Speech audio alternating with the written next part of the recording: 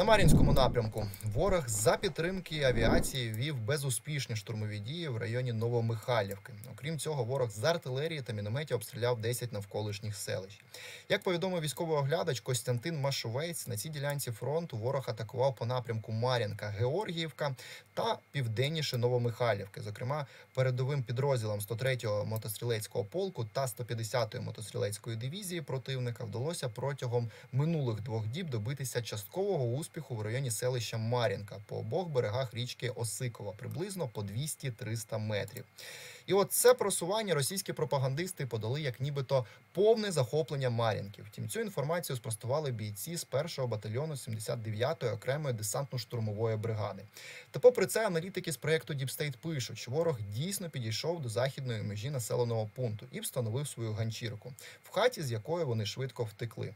Варто додати, що окупанти беруть Мар'їнку з березня 2022 року. З того часу лунали часті заяви як від Міністерства оборони РФ, так і від псевдоголови ДНР Дениса Пушиліна.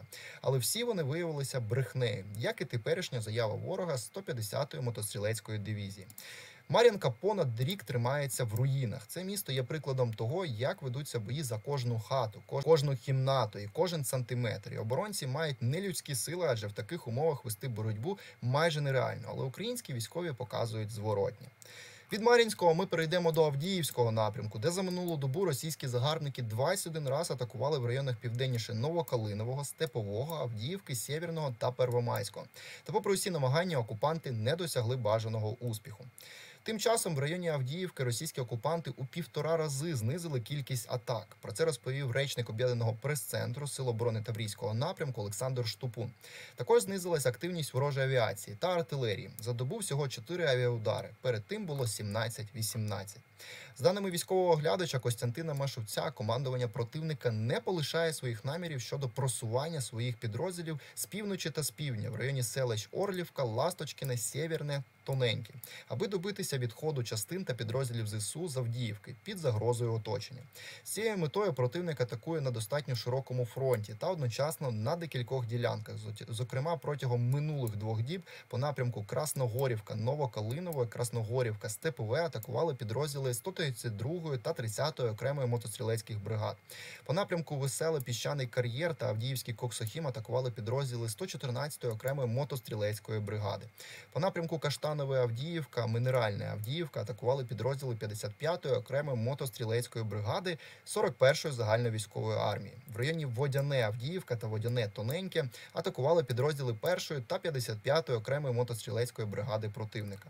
Усі вище зазначені атакуючі дії ворога закінчились для нього безрезультатно. Більше того, на північному фланзі Авдіївського району оборони передові підрозділи ЗСУ раптовими контратаками примусили передові підрозділи 15-ї окремої мотострілецької бригади та 2-ї загальновійськової армії південніше Степового полишити дві позиції та відійти у північно-східному напрямку. В свою чергу, південніше селища Новокалинове українські війська витіснили підрозділи 132-ї окремої мотострілецької бригади, також з двох передових позицій.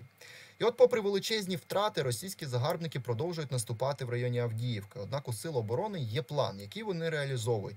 Про це розповів керівник центру військово-правових досліджень Олександр Мусієнко. За його словами, суть задуму полягає в тому, що операція українських сил в Авдіївці сковує велику кількість сил ворога, а також сприяє їхній ліквідації. Мусієнко зазначив, що ситуація на цьому напрямку залишається дуже важкою, але ЗСУ її контролюють.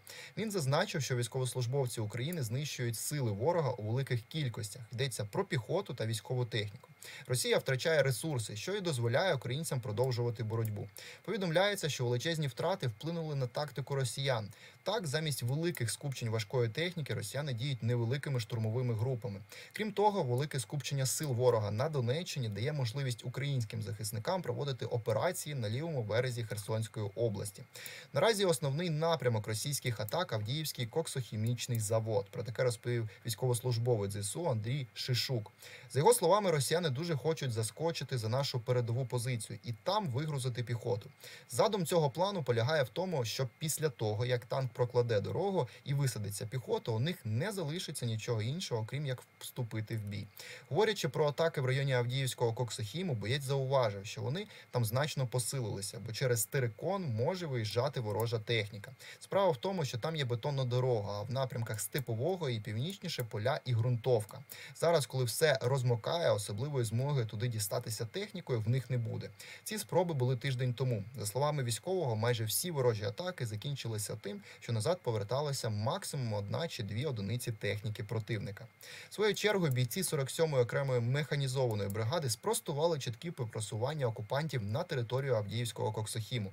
Про це вони написали у своєму телеграм-каналі. Захисники наголошують, що окупанти не перестають штурмувати Авдіївку щоденно. Ставку роблять на піхоту, місцями застосовують бронетехніку.